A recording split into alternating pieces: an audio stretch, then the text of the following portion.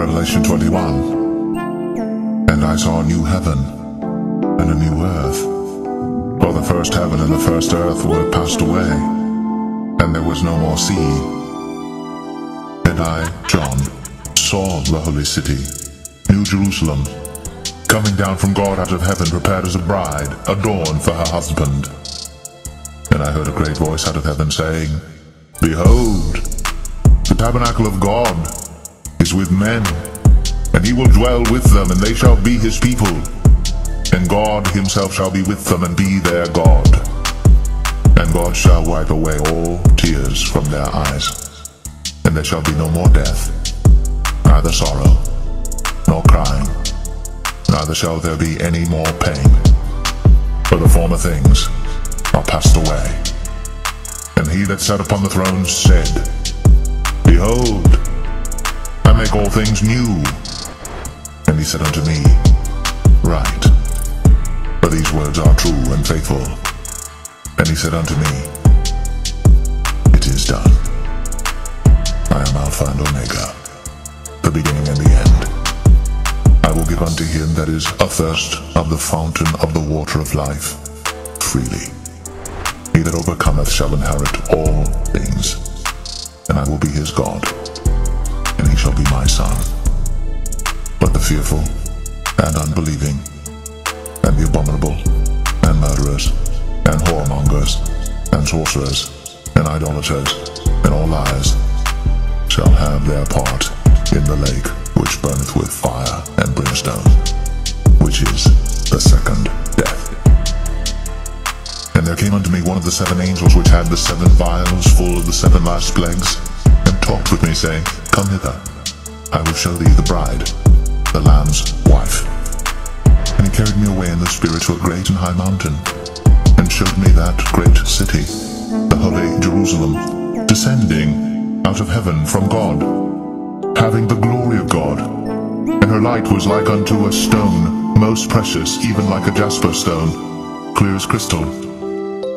It had a wall great and high, and had twelve gates, and at the gates twelve angels, and names written thereon, which are the names of the twelve tribes of the children of Israel. On the east three gates, on the north three gates, on the south three gates, and on the west three gates. And the wall of the city had twelve foundations, and in them the names of the twelve apostles of the Lamb. And he that talked with me had a golden reed to measure the city, and the gates thereof, and the wall thereof. And the city lieth foursquare, and the length is as large as the breadth. And he measured the city with the reed, twelve thousand furlongs. The length and the breadth and the height of it are equal. And he measured the wall thereof, an hundred and forty and four cubits, according to the measure of a man, that is, of the angel.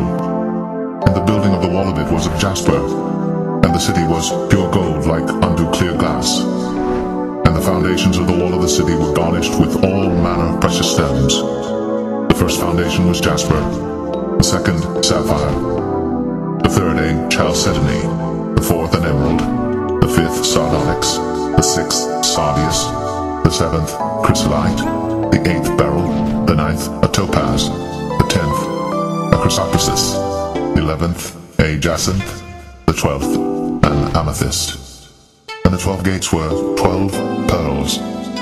Every several gate was of one pearl, and the street of the city was pure gold, as it were transparent glass. And I saw no temple therein, but the Lord God Almighty and the Lamb are the temple of it. And the city had no need of the sun, neither of the moon to shine in it. But the glory of God did lighten it, and the Lamb is the light thereof. And the nations of them which are saved shall walk in the light of it, and the kings of the earth do bring their glory and honor into it. And the gates of it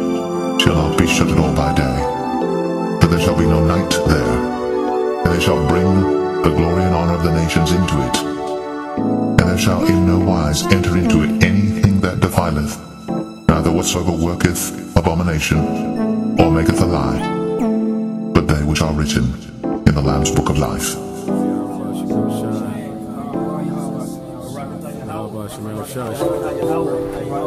Yahweh. Barakatah Yahweh. Yahweh. Yahweh Shai.